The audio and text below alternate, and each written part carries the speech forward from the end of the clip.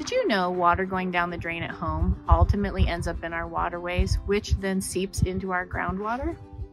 Hi, I'm Peggy Anesi with the University of Illinois Extension.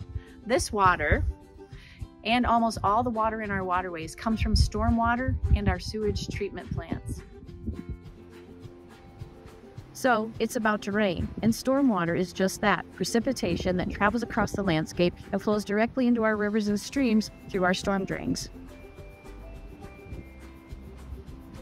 Most stormwater goes untreated, so whatever fertilizers, salt, and trash we put on the landscape, it gets to catch a free ride to a nearby river.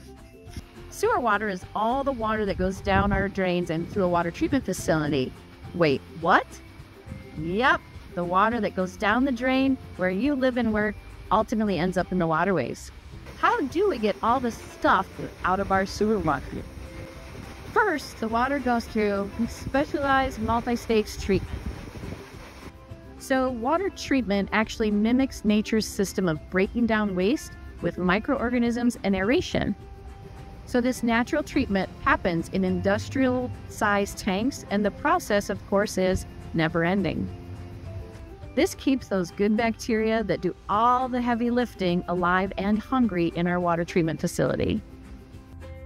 The treated water is then released into the nearest waterway. This is a very effective process, but it takes money, time, and energy.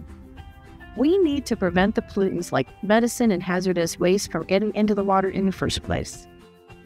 There is no new water on the planet. It's all the same water going through various parts of the water cycle at any given moment. So let's all do our best to keep our water running clean.